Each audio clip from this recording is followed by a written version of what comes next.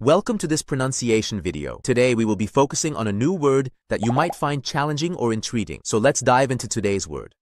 Tito, which means, former Yugoslav leader and founder of the non-aligned movement. let's say it all together. Tito. Tito. Tito. One more time. Tito. Tito. Tito. Thank you for joining us on this adventure in pronunciation. Remember, language is a journey, not a destination. Keep exploring, experimenting, and expanding your linguistic horizons. We'll see you next time.